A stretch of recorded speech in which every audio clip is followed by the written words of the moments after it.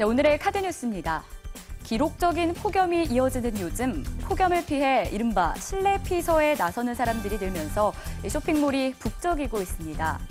폭염 때문에 힘들긴 하지만 폭염 덕분에 특수를 누리는 곳들인데요. 지난달 롯데백화점과 아울렛의 매출은 1년 전보다 7.2%, 구매 고객은 6.8% 늘었습니다. 이달에도 매출은 쑥쑥 오르고 있는 상황인데요. 이처럼 매출 정체에 빠져있던 유통업계는 실내 피서로 인한 특수를 누리는 모습입니다. 또 커피 전문점들도 살펴볼까요? 도심 속 오아시스로 꼽히고 있는데요. 스타벅스는 7월에서 8월 아이스 아메리카노 매출이 1년 전 같은 기간보다 15%나 증가했고 엔젤리너스 커피 아이스 제품 매출 역시 24%나 뛰었습니다. 시원한 먹거리 수요도 급증했는데요. 편의점 GS25에서 아이스크림 매출은 30% 이상 크게 늘었고 이마트의 생수 매출도 두 자릿수로 급증했습니다. 특히 수박 매출은 이달 들어서 더 크게 늘어났다고 합니다.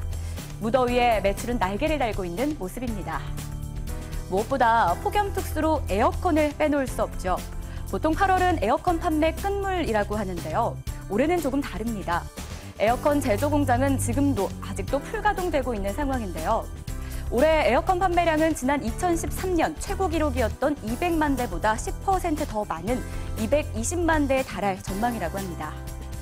기상청에 따르면 지난달 전국 평균 기온은 25.4도, 최고 기온은 29.7도로 7월 기준 과거 30년 평균치보다 각각 0.9도씩 높았습니다.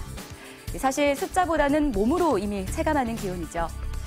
지금 대한민국은 건강을 지키기 위해 그리고 전기요금을 아끼기 위해 도심 피서에 한창입니다. 올여름은 정말 즐길 수 없다면 피하라는 말이 딱 어울리는 것 같습니다. 지금까지 TV로 보는 카드뉴스였습니다.